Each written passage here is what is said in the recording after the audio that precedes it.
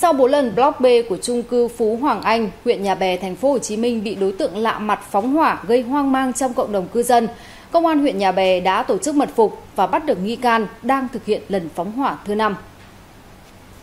Bước đầu nghi can này chưa khai báo rõ ràng nên danh tính cũng như nguyên nhân dẫn đến việc nhiều lần phóng hỏa chưa được công bố. Trước đó qua hình ảnh camera của sảnh block A và B, trung cư Phú Hoàng Anh ghi lại, một người phụ nữ tiếp cận sảnh của trung cư, khu vực tấm kính giếng trời hồ nước tiểu cảnh block AB,